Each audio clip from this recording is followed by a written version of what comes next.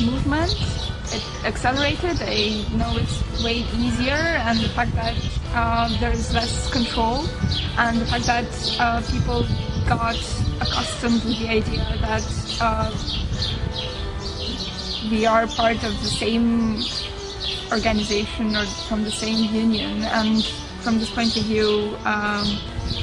there may be less prejudices than years ago, and the fact that we collaborate and also the fact that we share this responsibility and if a state somehow fails or doesn't um, achieve the goal that the European Union has, it's, uh, it is helped by the other states. It is nice to be a European citizen because we are um, yeah, free to do what we want to do and to go where we want to go and also the uh, the schools in the Netherlands and I think in the whole of Europe are very uh, highly respected. So if you have a proper education and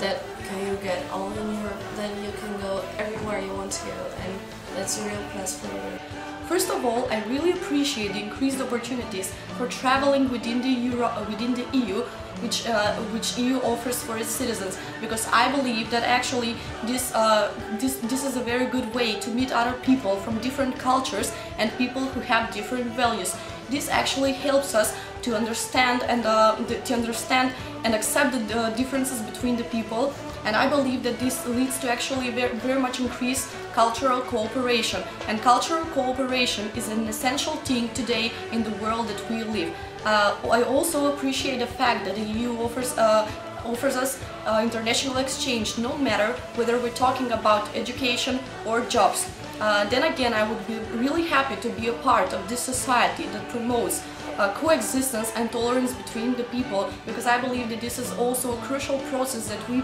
must maintain in order to prosper in our societies. And uh, last thing but not the least important, I, I, believe that the EU will actually help my country develop much more and become a very prosperous country.